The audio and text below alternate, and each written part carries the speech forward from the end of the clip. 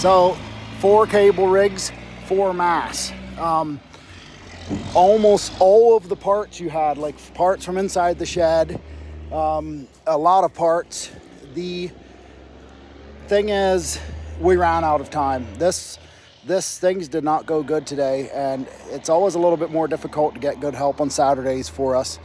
And uh, we were really working kind of short staff today. At least we had good equipment, but um, it didn't go well. The driver needed to leave. He said if he had to come back, it was going to be like $3,000 more. So we, uh, you know, that's just crazy. I didn't figure you want to pay that.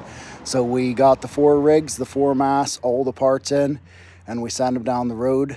Um, thing is, I not all the mass are the right ones for the rigs. So I'm hoping your father can make it work um, for now uh, with the mass are there and then you do have some good mass here yet. Um, and you have like two parts rigs I think.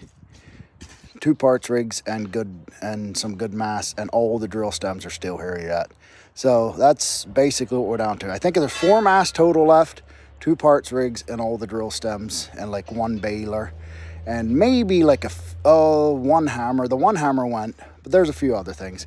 But luis helped. He did a really good job. If you want to send him a, a $500 tip i'm sure he wouldn't complain about it. Uh, but anyway thanks. Have a have a good weekend